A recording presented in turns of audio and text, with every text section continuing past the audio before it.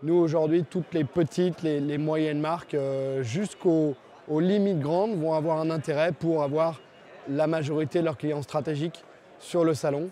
L'OSV accompagne euh, toutes ces, entreprises pour euh, les aider à rencontrer des clients allemands, autrichiens, suisses allemands ou un peu partout dans le monde pour leurs distributeurs. Donc là, dans Sport Valley, nous, on va acheter des mètres carrés mutualisés on va pouvoir euh, avoir, des prix plus compétitifs parce qu'on va arriver vers l'ISPO en achetant plus de 1000 mètres carrés.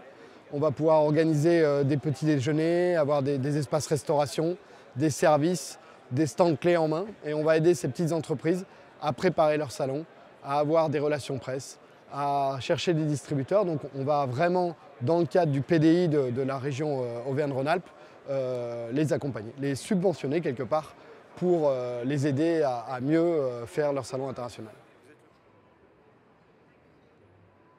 Maintenant, depuis le, début du mois de janvier, tout, a l'air de repartir euh, dans la bonne direction. La neige est arrivée.